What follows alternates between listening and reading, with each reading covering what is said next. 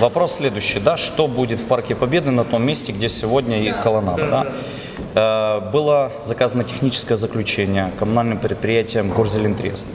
И э, официально есть ответ, что техническое состояние этой конструкции э, в ненадлежащем состоянии, в, в аварийном, неудовлетворительном.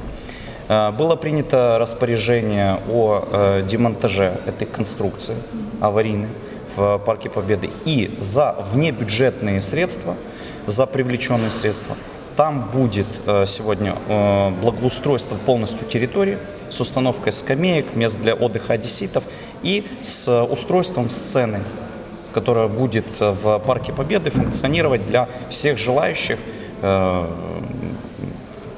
Приморского района и для, для всех желающих в нашем городе, которые могут проявить свои умения. А, Есть проект, там небольшая есть крыша, э, проект похожий на э, легендарную сцену в парке Шевченко э, «Ракушка».